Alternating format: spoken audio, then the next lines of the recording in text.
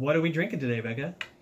Fort George Vortex IPA. One- Nice. One pint.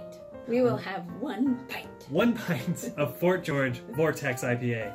No more, no less. Let's do this. Comes in pints? What's that from?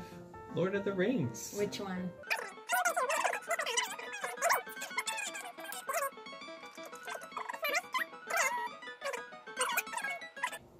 So we're drinking the Vortex IPA from Fort George. We are not talking about Lord of the Rings.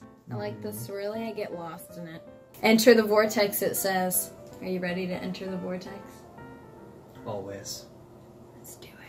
Let's do it. Made to withstand the long voyage to India today, a great IPA should be hoppy enough to make the trip back as well. So here's what we're gonna do. We're gonna charter a ship to India. We're gonna take these cans with us, and we're gonna drink them there, and uh, we'll let you know. And we're in India.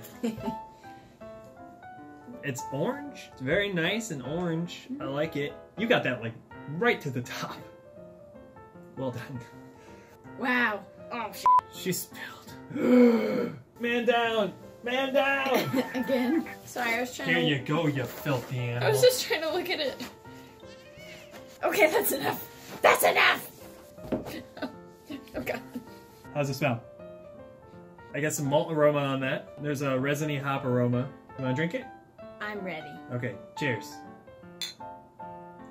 It has a nice piney, resiny flavor, which is good for a Northwest beer. Often people confuse hoppiness with bitterness. They aren't necessarily the same thing. Hoppiness means that it has uh, all the flavor and aroma of a hop, but a bitter beer is, well, one that has a high level of bitterness. Bitter. you learn! oh, it's cold in here.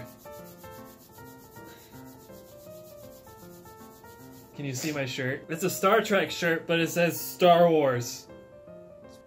Fucking hilarious. so Becca, would you be willing to fall into a vortex to drink this beer? I would travel to the vortex and beyond, Hmm. and then to India. If you're looking for a hop forward but balanced IPA, this is the one you want. It's got some good malt flavor, hop flavor, uh, the perfect amount of bitterness. Uh, Juicy. It's juice. Thanks for watching, everybody. My name is James, and this is Becca. We'll see you on the other side of the vortex. Until then, cheers.